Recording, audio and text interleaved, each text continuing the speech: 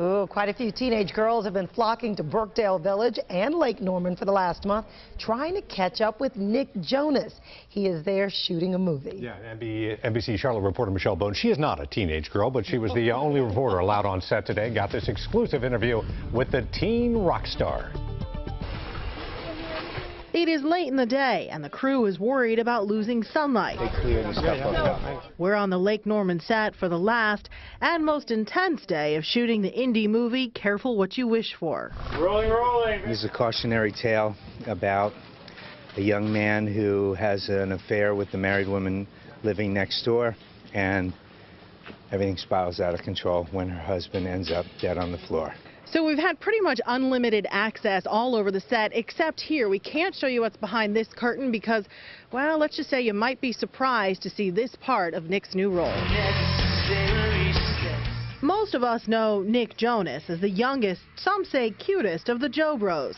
The Disney stars known for their squeaky clean image. Best behavior, right, gentlemen?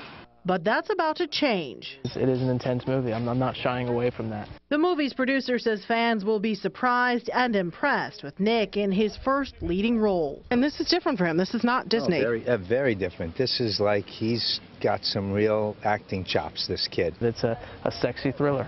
And um, it's going to be one of those things where I think that uh, people feel like they're there with us. And, and that's what's important. People going on the journey with the characters and uh, the seduction is important to it all. And, and um, you know, you'll see once you, once you see the film that it's, um, it's got some intense elements.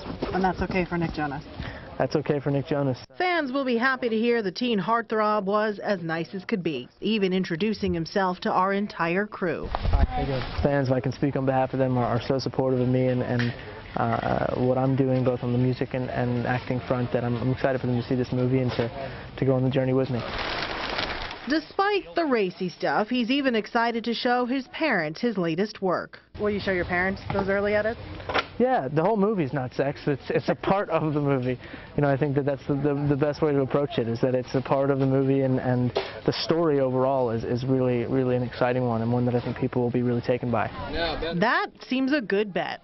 In Lake Norman, Michelle Bowden, NBC Charlotte. You know, Michelle got through that interview without even one scream. She with, did. With him she and, did. yeah, Impressive. Yeah. You can uh, catch the Jonas Brothers this summer when their concert comes to Time Warner Amphitheater in Uptown.